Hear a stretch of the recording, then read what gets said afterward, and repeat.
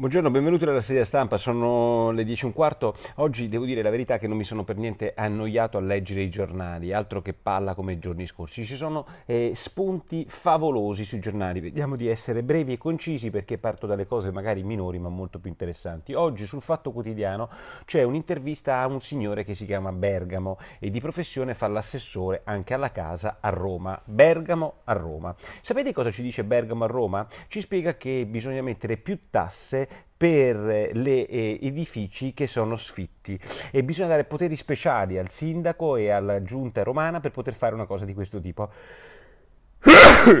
Scusatemi, più tasse sugli immobili perché sono sfitti, cioè secondo lui gli immobili sono sfitti perché i proprietari di casa sono cattivi, non perché quando hanno dentro una persona in casa non riescono a tirarla via neanche a calci nel sedere. Secondo Bergamo non si rende conto che a Roma il 90% delle persone che c'hai gli appartamenti sfitti cerca di fare case vacanze per il semplice motivo che le case vacanze rendono di più e le persone se ne vanno. Caro Bergamo, vivi nel mondo reale, non quello del microchip, ma la cosa più stupenda di, di Bergamo riguardo alle occupazioni delle case, ci ha detto che il diritto ad abitare, quindi la giustificazione dell'occupazione del diritto ad abitare, vale que- quanto quello della proprietà privata. Avete capito? Il diritto ad abitare, cioè il diritto di chi occupa le case, vale quanto quello della proprietà privata. Chiaro? Quindi io vorrei chiedere ai romani, al 75% dei romani che hanno votato la signora Raggi, insieme a Bergamo, insieme all'assessore che vuole con le pecore po- eh, risolvere il problema di Roma. Vi faccio vedere che cosa sta succedendo dalla Cristoforo Colombo, dal, da Fiumicino a Roma. Ci sono le sterpaglie alte così che se ci arriva un fiammifero e va a fuoco praticamente l'arteria principale della città. Allora io vi chiedo, a voi che avete votato moderati del centrodestra la Raggi, leggete cosa dice il suo assessore sulla casa, così vi, vi prendete un po' di pauretta nei vostri soldini, che forse è l'unico ragionamento liberale che potete avere, e cioè votate la Raggi, perfetto perfetto, votate uno che dice che il diritto di abitare vale quanto il diritto di proprietà. Il diritto ad occupare, quindi ad abitare, vale quanto il diritto di proprietà. Complimenti. Oggi eh, esproprio si chiama, c'è ragione Carolina, esproprio, esproprio, pagare di più le case sfitte e il, la possibilità di rendere eh, eh, Occupare le case si chiama esproprio. Andiamo sul decreto dignità. Sul decreto dignità c'è un lungo pezzo della Fornero che io condivido al 100%, state bene a sentire. E condivido al 100%, ma il problema della Fornero, cari amici miei, che scrive questo pezzo dicendo la flessibilità, non servono le leggi, eccetera, ma qual è? Lasciate perdere le pensioni. Chi è che ha messo una tassa dell'1,4% sui contratti a tempo determinato? Questo governo, ogni rinnovo mette un'ulteriore tassa del dello 0,5 sono contributi. Ma chi è che ha inaugurato questa stagione?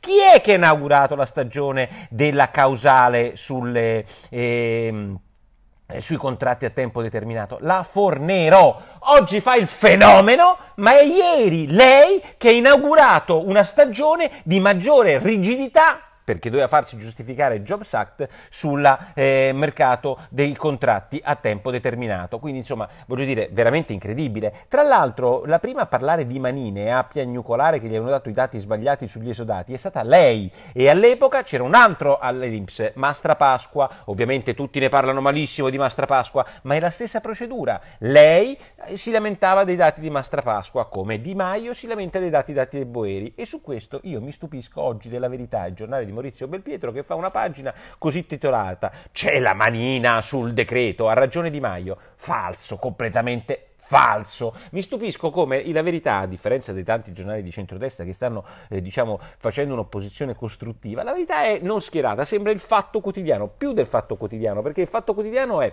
per il governo ma contro Salvini. Invece la verità è per il governo e per Salvini e per Di Maio. È incredibile. Grazie per il pagliaccio Marco. E, ehm, cosa succede? La verità che cosa scrive oggi? Dice che c'è stata la manina. Poi vado a leggere invece Barbera sulla stampa riguardo al decreto dignità e gli 8.000 posti di lavoro che si dovrebbero perdere per l'aumento delle rigidità, soprattutto per il fatto che ci sono 80.000 persone ogni anno che sono fuori legge perché hanno più di 24 mesi di contratto a tempo determinato. E allora Barbera che cosa dice? Fa una cosa semplicissima, dice che è arrivata una mail certificata come si usa dall'Inps al, ehm, al Ministero del Lavoro che diceva di questi 8.000 eh, posti di lavoro che si perderebbero ogni anno una settimana prima della pubblicazione in Gazzetta Ufficiale, mail certificata. Va bene, se bisogna andare avanti andiamo avanti perché voglio eh, citarvi Travaglio che ovviamente difende come sempre la questione degli 8.000, dice che le questioni di Bere l'ha fatta fuori dal vaso sugli 8.000 ma che comunque bisogna confermarlo, ma tutto il pezzo di Travaglio si regge solo su una questione e cioè che nei consigli di amministrazione della RAI il Movimento 5 Stelle ha candidato una giornalista che si occupa del Movimento 5 Stelle e che segue il Movimento 5 Stelle da 5 anni. In genere i giornalisti che seguono i partiti sono un po' embed dai partiti, quello che seguono Berlusconi Berlusconi era Minzolini, quello che seguiva eh, il PD, eh, lasciamoli perdere. Insomma, ci sono tantissimi giornalisti che seguono i partiti e seguendoli così direttamente poi ne vengono un po' catturati. Di lei però ricorda Travaglio come cinque anni fa il blog e Casalino ne parlò male, però di cinque anni dopo, come si legge in tutti gli altri giornali, è la giornalista del TG1 che segue il Movimento 5 Stelle raccontando, ovviamente come fa il TG1, senza mai criticità nei confronti di nessuno, Berlusconi è il dio, eh, Renzi è il dio, Movimento 5 Stelle dell'Iddio è il, il concetto del TG1, insomma, e ne fa un grande eroismo. Che bello, un partito che nomina que- una sua nemica. Ma quale nemica? Ma come si va a prendere per il culo la gente? Trump e Putin eh, fanno e celebrano una grande vittoria. Devo dire che eh, dice giustamente qualcuno alla fine della guerra eh, fredda perché si mette un accordo su Russia Gate, cioè Trump dice ma quale Russia Gate? Non c'è stato nessun intervento dei russi nelle campagne elettorali, la stessa cosa ovviamente non può che certificare anche eh, Trump. Venturini sul Corriere della Sera dice, beh insomma ehm, è veramente incredibile il fatto che è cambiato il mondo, oltre alla guerra fredda ha dato degli schiaffoni, ha ralato, ha dato degli schiaffoni all'Europa e ha fatto l'accordo con Putin. Non si riesce bene a capire perché l'Europa continua ad avere questa posizione così così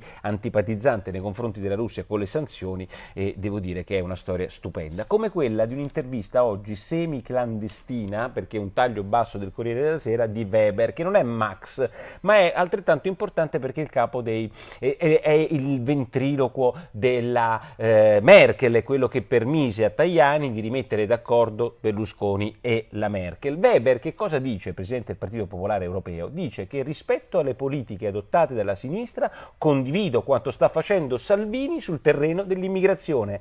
Avete capito?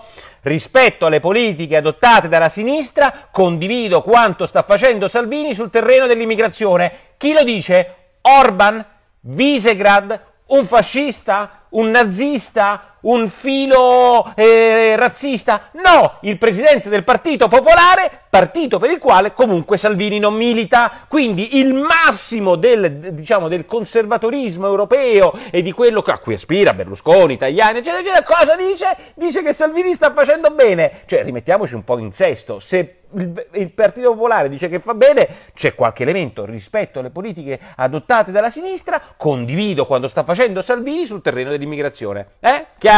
Poi facciamo le magliette rosse che vogliamo. Stupenda, a proposito di magliette rosse, la storia incredibile del Corriere della Sera di padre Zanotti. Padre Zanotti, è, secondo l'accusa, bisognerà verificarla, un'accusa di una più altre due testimonianze depositate presso lo studio di Anna Maria Bernardini De Pace, sarebbe un violentatore, un molestatore. Il padre dei profughi, l'uomo che eh, ci ha fatto la morale a tutti quanti noi, avrebbe violentato più volte un eh, suo, eh, non solo alcuni dei suoi ragazzi in comunità. Staremo a vedere, ci sono delle denunce incredibili, io su questo alzo le mani, vedremo quello che succede, presunzione di... però oggi il Corriere della Sera ne fa una pagina intera ed è giusto che ve la dica. L'ultima cosa che i giornali oggi non citano ma che io trovo straordinaria, straordinaria è la storia di Fini. La storia di Fini la ricorda bene ovviamente soltanto il giornale perché nel 2010 facemmo una battaglia per cui venivamo considerati la macchina del fango e fu ehm, considerato considerato da parte nostra, soffrimmo le pene dell'inferno da un punto di vista proprio i giornalisti ci trattavano, io mi ricordo ancora quel cazzone di Granata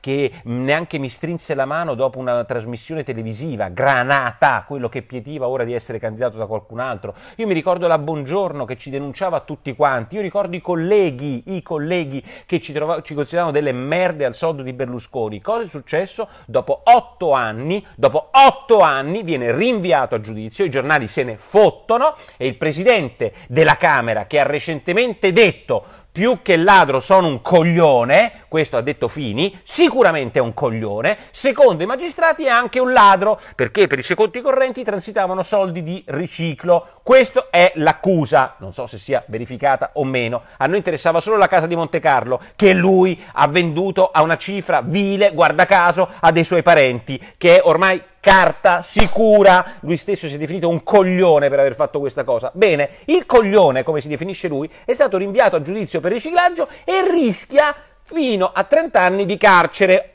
Oggi lo leggete soltanto sul giornale. Sallusti ricorda com'era quel clima, ricorda la notizia e ricorda che la sua grande alleata, conferenza stampa insieme, è quel ministro Bongiorno che oggi ci troviamo nell'attuale governo e che fa tutta la sapientina, quella che non sbaglia mai un congiuntivo, però forse sbaglia qualche, suo, eh, qualche sua battaglia politica, perché dopo quella battaglia politica Berlusconi cadde, e chi se ne frega è la storia del passato, e arrivò tutti quei governi di cui conosciamo, tra cui Monti, per cui si candidò la Bongiorno come presidente della regione Lazio Lazio quando si candida in situazioni in cui qualcuno deve votare ovviamente non prende neanche un voto. Ecco, questa è la parabola dopo otto anni di una storia incresciosa. Non mi interessa se Fini verrà o meno condannato, mi interessa come, veni- come fummo definiti solo per svelare una cosa che oggi è dimostrata, cioè la vendita di una casa ereditata da una, da una vecchia contessa eh, militante del MIS, ereditata da Fini, e svenduta alla cricchetta dei suoi parenti. Questo è quello che è successo. Oggi sul giornale eh, mi sembra un pochino anche